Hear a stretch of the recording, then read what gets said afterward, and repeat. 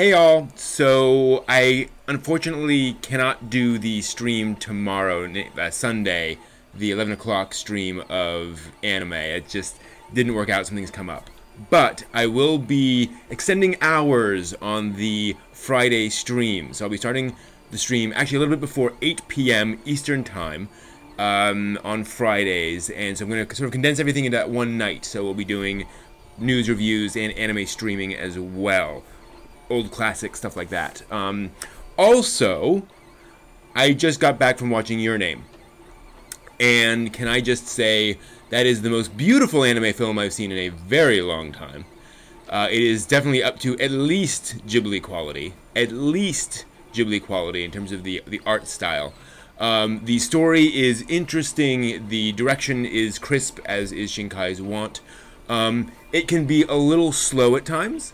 Um, so it's certainly not for everybody. It's, it's more of a quiet uh, romance. Is a very broad, in the broadest sense of the term, where you know, there's certainly romance going on, but it's not really a, a traditional romance story. Um, uh, so yeah, it, there, there's not a lot of action in this, um, but I thought it was beautifully done, wonderfully constructed, uh, and it's definitely a piece of art. This is a a thing of beauty that is worth um, worth checking out at some point. Absolutely wonderful. Uh, I happened to watch the dubbed version, which was excellent.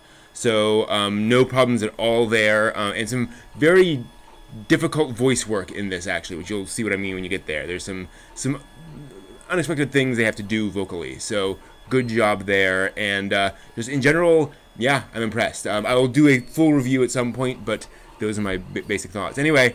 Uh, see you guys in um, about a week. Uh, this coming up Friday, starting at 8 p.m. Again, I'll start a little bit earlier than that. I'll give you guys time to, to uh, show up for the news at 8. So, see you guys then.